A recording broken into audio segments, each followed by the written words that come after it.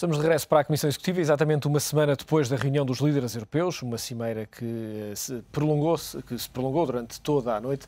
Acabou por haver um conjunto de decisões que, eh, passado uma semana, estamos de novo, basicamente, na mesma situação, com os mercados a afundarem. Entretanto, acaba de ser divulgada eh, essa informação. O Fundo Europeu de Estabilidade Financeira adiou uma emissão a 10 anos, que teria lugar hoje e uh, atendendo a que diz em fontes contactadas pela Bloomberg e pela Reuters que esta emissão foi adiada em uh, virtude do resultado do ambiente que se vive atualmente nos mercados financeiros. Esta emissão, ou o adiamento desta emissão, pode comprometer a nova tranche de ajuda à Irlanda. Professor Vítor Gonçalves, parece-lhe que foi uma boa decisão esta adiar uh, em virtude de novas, de melhor, digamos, situação do mercado, embora não se perceba bem quando é que o mercado vai acalmar. Pois, mas em situações de elevada incerteza, eh, uma decisão desse tipo é absolutamente compreensível. Eh, naturalmente que, eh, face à situação da Irlanda, esse adiamento não poderá ser algo sine die, mas nas circunstâncias que estamos a viver, com uma, com uma reunião de emergência convocada para hoje, com uma reunião dos G20 marcado para amanhã, com toda a turbulência que existe a nível de, dos tais mercados, parece-me perfeitamente aceitável, compreensível e aceitável. Alexandre, começa amanhã a reunião dos 20 mais poderosos do mundo. Uh, Obama, Barack Obama tem falado insistentemente esta questão europeia, a China, enfim, o próprio Brasil, os países que têm hoje outro peso na economia mundial. Parece-lhe que poderá surgir, pelo menos, alguma pressão para que haja uma solução mais rápida para este problema, nesta reunião? Penso que sim, sobretudo do lado de Obama, não é? Acho que o Obama precisa de falar muito com a senhora Merkel, porque basicamente já percebemos todos que aquilo que os alemães entendem que, no fundo, é preciso manter uma solução, uma pressão através dos mercados de dívida pública para disciplinar os orçamentos dos países em crise, no fundo, manter os juros da dívida pública nacionais pressionados pelos mercados, porque acham eles enfim, que é a única forma de disciplinar estes países, eh, vai dar mau resultado. Eh, e, portanto, e também acho que é importante acabar com o tabu de que o BCE não pode ter também uma função financeira neste tempo de crise. Quer dizer, acho que é a única forma de resolver este problema. E, portanto, em relação à primeira questão, é preciso desenharem-se rapidamente meios institucionais de disciplinar, em termos orçamentais, os Estados do Sul. Em relação à segunda questão, realmente, o BCE já tem agido no mercado da dívida pública, isso é fundamental para conter o crescimento das dívida, dos juros eh, da dívida italiana e espanhola, e vai ter de o, de o continuar a fazer. E que, realmente eu acho que aí esse será, penso eu, o conselho, porque isso foi feito nos Estados Unidos, não é? Através da Reserva Federal, já tenho visto alguns comentários de economistas, não sei o que é que entendem, mas que isso neste momento não é gerador de inflação porque uh, a velocidade de circulação da moeda, que é outro termo importante para sabermos, uh, neste momento não é grande, não é? E portanto, uh, ainda que se imprima mais moeda, ela não é utilizada tantas vezes como seria normal e por isso não gera inflação. Portanto, acho que era importante os economistas que assessoram o Sr. Obama falarem com os economistas que assessoram a Sra. Merkel, o Sr. Obama falar com a Sra. Merkel e tentar passar estas ideias porque acho que é realmente a única forma que neste momento temos de, de, de sair deste, deste momento de crise. António, agora com um novo presidente, Mário Draghi, à frente do BCE, poderá ser eh, uma nova também realidade para o BCE intervir no mercado? Sim, embora eu acho que, que, que não vamos notar grande diferença, seguramente, ou eventualmente no estilo, mas em termos daquilo que tem sido a postura e, a linha do, do, do, do BCE nestes últimos tempos um, e na possibilidade, que o Alexandre refere bem, de serem dados mais meios e, mais possibilidades ao BCE de intervenção nesta situação.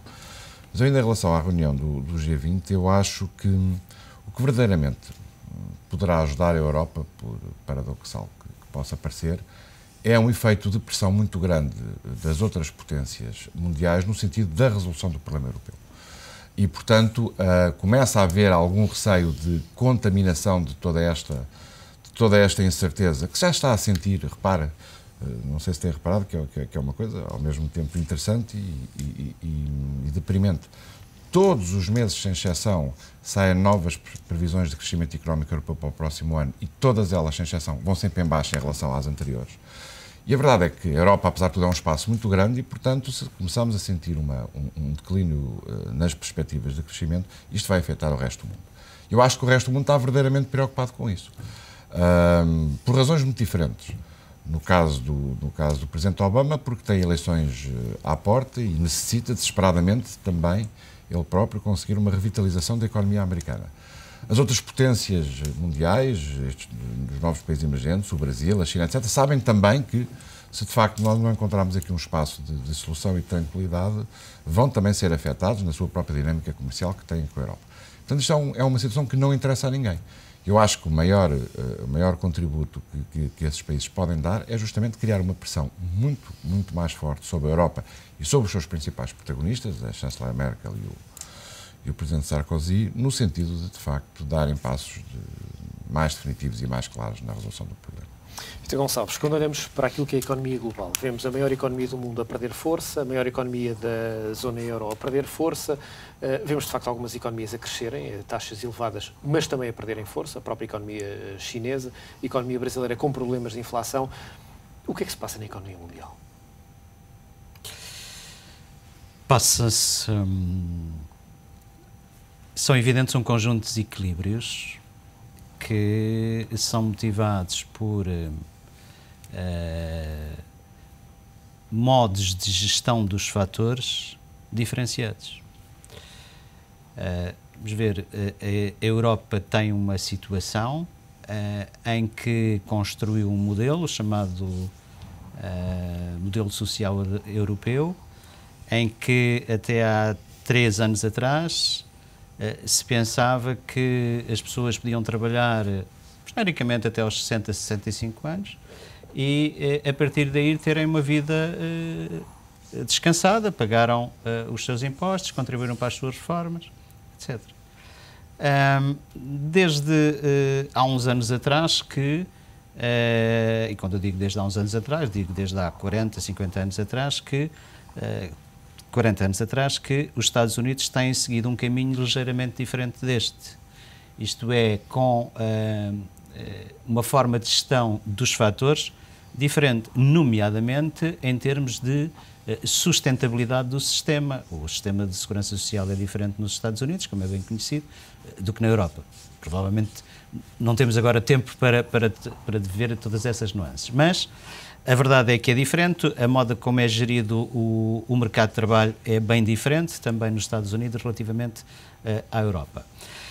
Então, isso é, é, o modo como tem sido e, os, e, a, e como tem sido gerido uh, o investimento também na pesquisa e desenvolvimento é diferente na Europa e nos Estados Unidos. Ora, estes e outros fatores, mas estes, nomeadamente estes três que eu referi, levaram a uma, digamos, a uma desvantagens competitivas num conjunto de setores relativamente da Europa relativamente aos Estados Unidos. Entretanto, apareceu em cena um, apareceram em cena alguns países asiáticos, nomeadamente a China com uma, um poderio que poucos um, eh, perspectivavam que pudesse acontecer no início desta década, se pensarmos há 15, 20 anos atrás. Mas a verdade é que a visão chinesa é uma visão que está a dar resultados. Eles há, há, há 20 anos atrás começaram a investir na formação uh, das pessoas, mandando os jovens mais, com maiores potencialidades estudarem em boas universidades uh, no estrangeiro. Com, no início, com bolsas totalmente uh, financiadas pelos Estados. Isto é, foram construindo, do ponto de vista de investigação e desenvolvimento, uma, um suporte, eh, uma base, perdão, que hoje começa a, a dar os seus frutos. Ainda há, ainda há relativamente pouco tempo, eu estava, estive em agosto na China, numa reunião, e, e, constatei o regresso de muitos diretores de departamentos de universidades nos Estados Unidos e no Canadá que estavam a voltar para a China como eh, reitores de universidades chinesas. Isto é, isto foi um investimento que foi planeado há uns anos atrás. Eh, estão a voltar pessoas com elevadíssima capacidade. Entretanto, houve, os chineses em muitos setores de atividade eh, são conhecidos por começarem a copiar aquilo que melhor fazia no mundo, no setor das tecnologias. E já a chegar a um novo passo. Outro, hoje em dia, como vemos, eles já não estão, já não estão a copiar, já estão a fazer melhor do que os outros faziam, porque têm o know-how, têm as competências, etc. Isto é, no meio disto, temos os Estados Unidos de um lado, temos uh, a China do outro, olhando para o mapa, digamos, com a referência europeia, e temos no meio a Europa, em desvantagem competitiva. Em relação aos dois. Em relação aos dois. Entretanto, começam a aparecer outros parceiros, como dizia o Brasil, etc.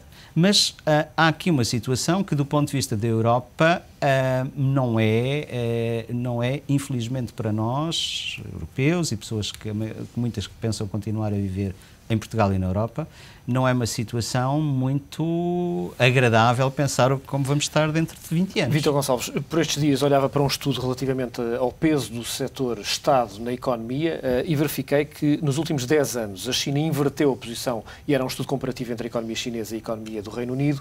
Neste momento, o peso do setor público na China é 40%, no Reino Unido disparou para 56% é de facto um peso enorme também para as economias, este peso do setor Estado. É um peso enorme, no entanto, eu penso que eh, essa, essa, esse número pode ser enganador. Eh, esse número pode ser enganador eh, e admito que não sei qual é a fonte que tem, mas parece-me muito pouco esses 40% eh, na situação chinesa. No entanto, eh, é bem sabido que eh, o, o, o, o, o país China continua a ser um país absolutamente centralizado, onde o poder do Estado é, é omnipresente e só com esse poder omnipresente eles têm conseguido fazer as mudanças que nós temos uh, constatado. Isto é, numa democracia, numa democracia tal como nós a conhecemos, uh, as mudanças que acontecem na China seriam dificilmente difíceis de implementar. Em tão curto espaço de tempo. Uh, e por isso muitas empresas privadas, isso constata-se na China, falando com as pessoas, muitas das empresas privadas são empresas perfeitamente orientadas pelo que, digamos, é o interesse do Estado e, e são pessoas muito ligadas ao aparelho eh, que estão à frente das empresas. Alexandra, nos últimos minutos que nos restam, uma nota sobre a Itália é uma situação que tem vindo também a ganhar uma dimensão de gravidade cada vez maior. O que poderá acontecer nos próximos dias em Itália?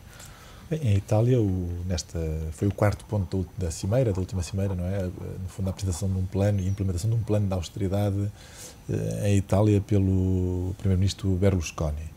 Uh, portanto, ele vai apresentar esse, esse, plano. Realmente a Itália está no olho do furacão, os mercados neste momento estão concentrados é na, na, na, Itália e ele vai apresentar esse plano e vai tentar avançar com, com esse plano. Embora não possa deixar de notar aquilo que foi um erro, a meu ver, de um enorme amadorismo, que foi que quando se apresentaram os resultados, isto não é um pequeno facto, eu acho que isto na Itália foi muito sentido, quando foram apresentados os resultados da Cimeira uh, pelo Sr. Sarkozy e pela Sra. Merkel, a certa altura houve um jornalista penso eu que do lá a República, que fez uma pergunta sobre o Sr. Berlusconi. E isto, eh, está, estas imagens estão no YouTube. E eles trocaram olhares e começaram-se a rir. O Sr. Sarkozy e a Sra. Merkel começaram-se a rir antes de responderem. Isto foi uma coisa que em Itália foi visto como um incidente diplomático.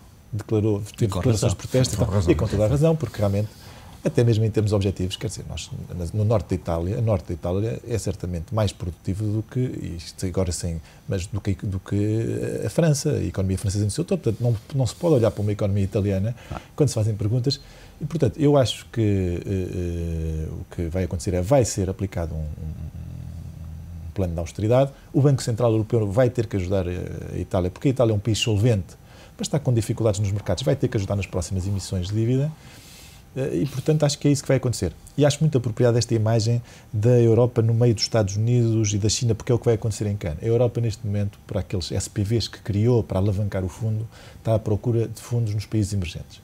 O Ministro das Finanças eh, brasileiro já disse que a Europa tem fundos para resolver esses problemas, o que em linguagem diplomática significa basicamente que o Brasil não quer entrar no Se os alemães não põem dinheiro, porque é que o Brasil, porque é que o Brasil vai pôr? E, portanto, estão à procura de dinheiro na China na China. E a China eu acho que vai, vai entrar porque tem dois interesses para isso. Tem muitas divisas expressas em euros e, portanto, tem interesse e, sobretudo, quer diminuir as barreiras alfandegárias dos produtos chineses. O, preço, o preço, vamos ter que pagar algum preço por isso. Não é? António, e esta questão é importante, a China vai ficando com a Europa na mão. É, uh, isso assistimos uh, muitos sinais da mais variada ordem e que todos eles têm uma, um denominador que eu acho que é comum e que o Vitor Gonçalves tem referido há pouco. Isto não são passos estáticos, isto é uma estratégia que é bem pensada e que é uh, executada uh, paulatinamente, sem, sem nenhum tipo de, de alteração. Eu acho que uma das grandes vantagens, e para quem conhece um bocadinho a cultura chinesa, é de que os chineses têm uma noção do tempo completamente diferente da, da noção europeia e, por maioria de razão, da, da americana. E, portanto, de facto, este conjunto de passos vão sendo dados e depois vão exigir gradualmente contrapartidas e maior influência, no fundo, para procurar, de alguma forma, ir reforçando paulatinamente, mas sem grande sem grandes alaridos, a sua condição de, de, de, potência mundial. Manda quem pode e obedece quem tem juízo, como se costuma dizer. António Gomes Mota, Alexandre Mota Pinto, Vitor Gonçalves, foi um prazer contar com os vossos lúcidos comentários. A Comissão Executiva regressa amanhã para analisar um outro tema. Aproveite este dia.